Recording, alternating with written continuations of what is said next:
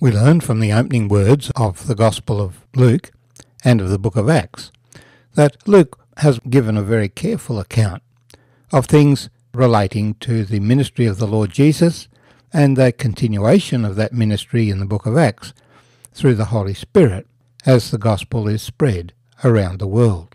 The story is an absolutely remarkable story, and Luke has been careful to interview the key people and to bring us a very accurate account. Some of the things he personally witnessed himself, and he was involved in these things from the beginning. So, while many people wrote accounts of the Lord Jesus, his, along with Matthew and Mark, have stood the test of time, as many people were familiar with the events, and their testimony has guaranteed the accuracy of what Luke has recorded for us. So the book of Acts begins The former account I made, O Theophilus, of all that Jesus began, both to do and teach, until the day in which he was taken up, after he, through the Holy Spirit, had given commandments to the apostles whom he had chosen, to whom he also presented himself alive after his suffering by many infallible proofs, being seen by them during forty days, and speaking of the things pertaining to the kingdom of God.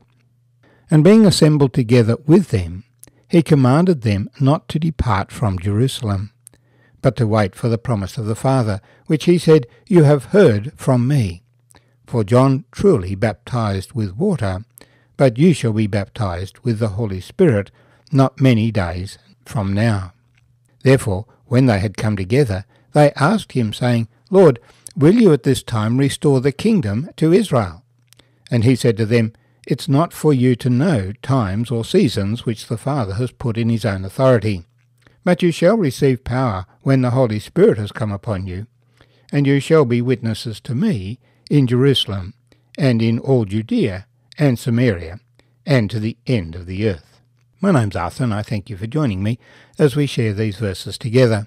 So, Jesus met with his disciples in various circumstances over a period of time, explaining to them the connection between his ministry and what had been written in the Old Testament, the promises. The key theme of Jesus' public ministry was that he was the Messiah, the Christ, for he declared the kingdom of God is at hand. And so a very natural response from the disciples was, Lord, will you at this time restore the kingdom to Israel? The kingdom had been established under David, David had been given the promise that he would always have a son to rule. And Jesus was the son. He was the heir to the throne of David. Therefore, it was natural for them to think that now Jesus would establish his kingdom. But they had come to learn that things are not always what you expect with Jesus. They had not expected that he would die. Now that he had died and risen again, and Jesus had explained to them why that was necessary, that he had to take the punishment for the sins of the people. If he was going to forgive the people, he had to do it in a just way, and the only just way was for him to bear the penalty himself, since no man could bear the penalty for his own sin. Jesus doesn't say this is not going to happen. He says it's not for you to know the times or seasons which the Father has put in his own authority. In other words, there is a time when the kingdom will be restored to Israel. This is a strong theme of the Old Testament, implicit in the promise to Abraham, to David. The prophecy of Isaiah is very strong. It is the hope of Israel. And so it will happen. But Daniel indicates that God has a plan, He has a program. There are times and seasons summer and winter, autumn and spring. These things apply in the physical world, but they also apply in the spiritual world. So the Father has a plan. The plan for them involves the testimony that they are to bear to Jesus and to God through the whole world. And this testimony will only be performed through the ministry of God through the Holy Spirit. This is a grand change to the Old Testament scheme, where it was the Jewish people who were witnesses. They will be witnesses again in the future, but at the present time it is believers in the Lord Jesus, baptized by the Holy Spirit, who will bear that testimony. So he instructs them, stay in Jerusalem. Don't leave Jerusalem until you have received the promise of the Father. Jesus delivered that promise on the eve of his crucifixion, where he had said that he must go away, for when he goes away, then the Comforter will come, the Holy Spirit, who will bring all things to their remembrance, and who will be their teacher and be their leader. He is the source of power for the Word. We have our own words, and there is a certain power in our words, but the words of God are special words that have special power through the Holy Spirit. And when we deliver the words of God, then they bring life where there is death. So the Holy Spirit would come to establish the church. As Jesus explained, he has been with you, but then he will be in you. And so this is going to be key to understanding the book of Acts. That God's Spirit is working. The word spirit is related to the word wind. It is the power of God. You can't see the wind, but you can see the leaves move. When the wind is really strong, you can see the roofs torn off and the trees thrown over. Incredible things happen with the power of the wind.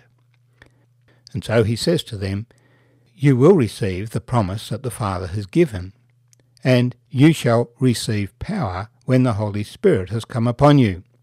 And you shall be witnesses to me in Jerusalem and in all Judea and Samaria and to the end of the earth.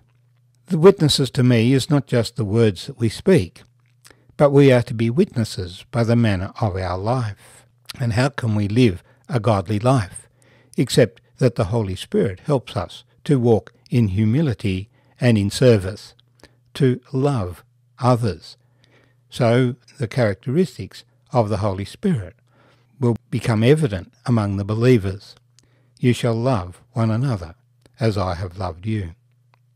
The plan of the ministry of, of the Holy Spirit is that the message of God shall go far beyond Israel. For it's not enough for Jesus to be King of the Jews. As Isaiah 49 6 says, He shall be ruler of the whole earth. He shall be ruler of the nations.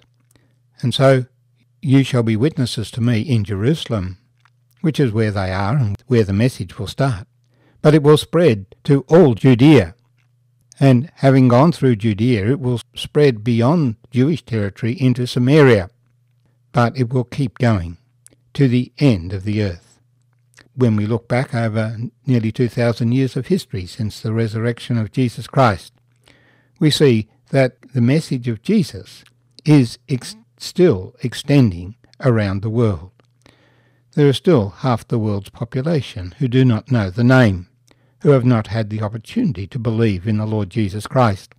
There are still languages that are spoken that do not have the Word of God in them. But the work is going on apace, as God is still raising up witnesses to Him in every tribe and people and tongue and nation, so that the message of Jesus is extended to the whole earth. But at some point in time, this phase of, of the work will be over the harvest will be brought in, and the Lord will establish, will restore the kingdom to Israel. And Jesus and the kingdoms of this world will become the kingdoms of the Lord Jesus Christ. His throne will be established in Jerusalem. The nations will come up to Jerusalem to learn the ways of the Lord and to walk in his ways. Then the Prince of Peace will reign in peace over the whole earth. This is the plan that God has. Luke is going to tell us the begin how within 30 years the gospel would extend from a dozen believers in Jerusalem to reach throughout all the Roman Empire. You shall receive power when the Holy Spirit has come upon you, and you shall be witnesses to me in Jerusalem and in all Judea and Samaria and to the end of the earth. The earth.